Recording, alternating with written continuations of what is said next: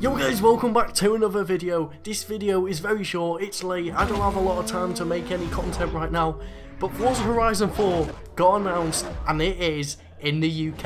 I backed it for ages, I knew it was going to be in the UK, I've wanted it in the UK and it's been confirmed. We're going to the UK for Forza Horizon 4. I'm going to make a ton of videos on this in the next few days.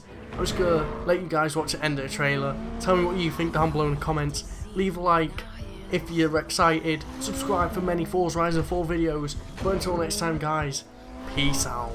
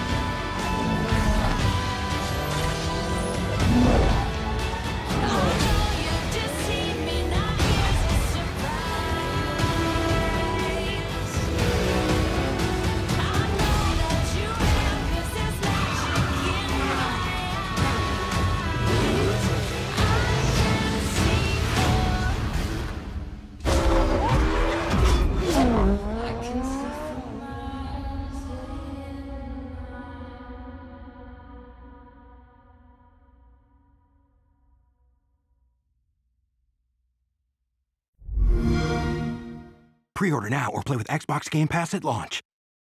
But I already know I'ma get it now though.